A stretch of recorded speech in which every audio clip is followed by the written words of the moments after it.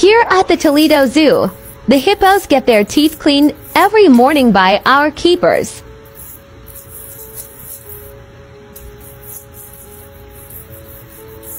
This daily routine helps remove excess hay and food to keep their gums healthy.